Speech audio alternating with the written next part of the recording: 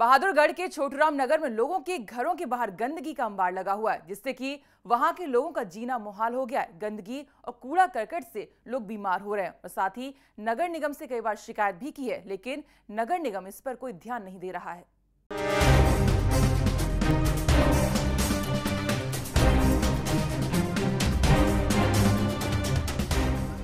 बहादुरगढ़ के छोटूराम नगर में लोग नारकी जीवन जीने को मजबूर हो गए हैं। कच्ची गलियों में जमा गंदा पानी ने लोगों का सांस लेना भी दुभर कर दिया है। गंदे पानी की बदबू और मच्छरों से लोग बीमार हो रहे हैं। स्थानीय लोगों ने नगर परिषद से लेकर एसडीएम तक इसकी शिकायत भी की है, लेकिन कोई समाधान नहीं किया गया। सर, घर से बाहर निकलते हैं, घर में पानी भरा है, बाहर पानी भरा है। ये पंद्रह दिन से बीमार पड़ा हूँ।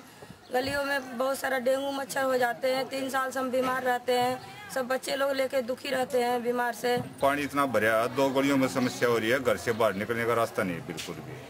और हमने अपनी एप्लीकेशन रिक्वेस्ट लेटर कमेटी को भी दे दिया एसडीएम को भी दे दिया डीसी को भी दे दिया। कोई सुनाई नहीं हुई है। अब नगर परिषद के अधिकारी कह रहे हैं कि सभी गलियों का सर्वे करवाया जाएगा और जल्द ही उनका निर्माण भी होगा। पर्सनली विज़िट करूँगा इस चीज़ को जाके।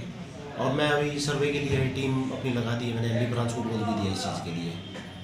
और वहाँ एक समस्या है, जो खाली प्लाटों के अंदर पानी वगैरह जो भर रहे हैं या उनकी सफ़ा सफ़ाई नहीं है, उस चीज़ के रिगार्डिंग मैं उन खाली प्लाट वालों को नोटिस दूँगा बता दें कि कॉलोनियों में गंदगी का सबसे बड़ा गढ़ खाली प्लॉट होते हैं। इन्हीं में गंदा पानी और कूड़ा जमा होता रहता है, जिससे कि गंदगी और बीमारियाँ पनपती हैं। टीम फोकस हरियाणा के साथ बहादुरगढ़ से प्रदीप धनखल की रिपोर्ट।